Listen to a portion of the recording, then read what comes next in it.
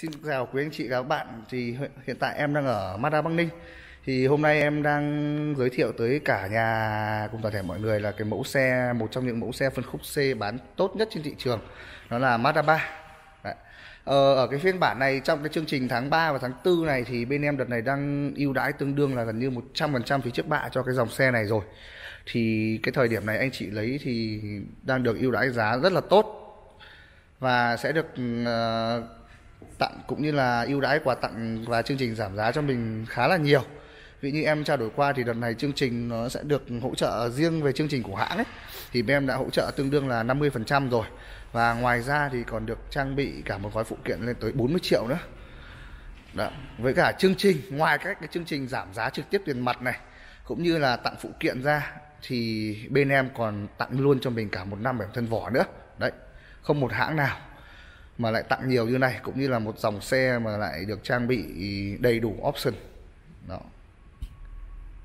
Thì bây giờ anh em cũng muốn là giới thiệu cho mình qua về à, về tổng quan của xe nhé. Ờ, có cái phiên bản này em đang quay giới thiệu cho nhà mình là phiên bản Mazda 3 Luxury. Cái phiên bản này thì được trang bị đầy đủ tất cả rồi. Từ ghế da này cao cấp nội thất điều hòa hai vùng độc lập này đèn full led này. Đấy. Đây.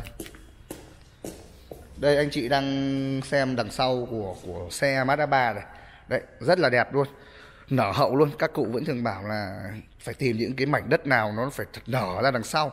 Thì chiếc xe này cũng thế. Đáp ứng tiêu chí là trông nó rất là hùng hồn này, nở hậu. Đấy. toàn bộ đèn hệ thống đằng sau thì đầy đủ cảm biến camera 2K luôn rồi. Rất là nét. Đấy cũng như là được trang bị thêm cả hệ thống đèn full led này cảm biến lùi này. Đấy, anh chị nhìn thấy này. Đó. Lipo thì à, như anh chị biết ý, thì chúng ta rất là chuộng cái kiểu lipo những cái dòng của Mercedes-Benz này để bạn ấy được trang bị như thế. Đó. Đây em xin phép quay một chút. À ở cái phiên bản này thì mình được tặng cả cánh hứng gió luôn nhé đây. Quay tổng quan xe đây anh chị nhìn xe rất là, trường xe luôn, dài xe, nhìn rất là sang trọng. Rất là sang trọng.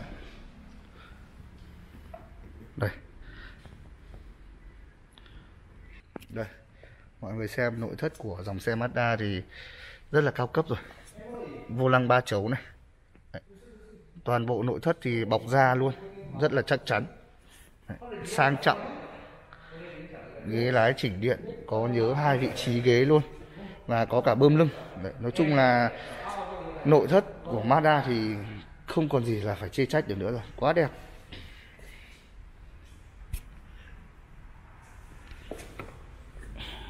Đấy. Cốp đây quay cho là cái cốp. Tí mày có thể đây. Cốp thì siêu rộng.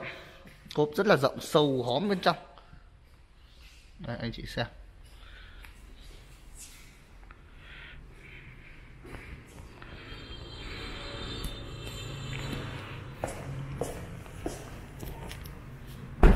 Thôi thế thôi.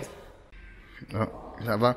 Thì chương trình đợt này thì đang được ưu đãi rất là nhiều thì những mọi người quan tâm về dòng xe một trong những dòng phần phân khúc xe bán chạy nhất thì có thể liên hệ trực tiếp với bên em. Thì để bên em sẽ hỗ trợ chương trình và ưu đãi cho mình. Cảm ơn anh chị đã theo dõi video.